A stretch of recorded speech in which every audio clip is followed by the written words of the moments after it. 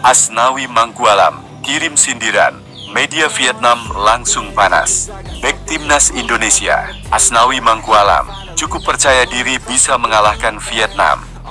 Hal tersebut karena penampilan skuad Garuda yang semakin baik dan mereka cukup percaya diri.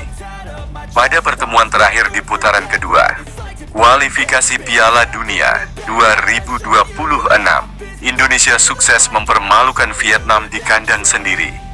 Kali ini, kedua tim akan bertarung di ASEAN Cup 2026 pada fase penyisihan grup B. Indonesia dan Vietnam akan bertarung pada 15 Desember mendatang di Viet Tri Stadium.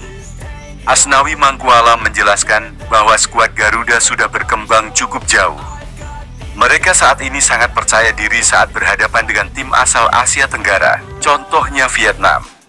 Skuad Garuda dipastikan akan habis-habisan di laga tersebut. Sebelumnya kami tidak pernah menang lawan Vietnam. Sangat sulit bagi Indonesia untuk menang lawan Vietnam, kata Asnawi Mangkualam dalam sebuah wawancara dengan Thairat. Pemain asal Port FC ini melanjutnya, mental pemain menjadi alasan dia cukup percaya diri saat melawan Vietnam. Setelah mendapatkan didikan keras dari Shin Tae-yong, semua pemain siap memberikan segalanya di tim. Ini menjadi kekuatan utama Indonesia, dan mereka tidak takut melawan tim-tim kuat saat ini. Saat ini dan kemudian ya, itu bagus buat Indonesia. Mentalitas tim kami makin kuat, kepercayaan diri makin tinggi, tutupnya. Media asal Vietnam, Soha, ikut memberikan komentar terkait pernyataan Asnawi tersebut.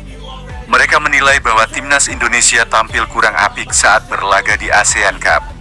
Selain itu, kekalahan skuad Garuda dalam beberapa pertemuan cukup telak yang membuat Vietnam lebih superior.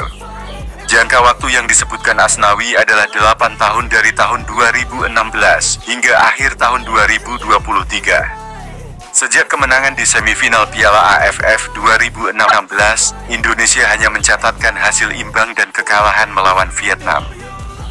Apalagi ada laga-laga mereka kalah telak seperti 0 sampai 4 dan 1 sampai 3 di kualifikasi Piala Dunia 2022. Di turnamen remaja, Indonesia juga kerap gantung baju saat Vietnam dipimpin pelatih Park Hang-seo. Tulis laporan Soha. Selain itu, mereka juga meragukan penampilan skuad Garuda di ASEAN Cup 2024. Pasalnya, Shin Tae-yong membuat tim baru dan banyak diisi pemain muda. Bahkan beberapa nama belum memiliki caps di timnas. Mereka menilai bahwa meraih gelar juara akan semakin sulit dengan kondisi tersebut. Namun yang pasti ambisi mereka akan semakin sulit terwujud dibandingkan sebelumnya.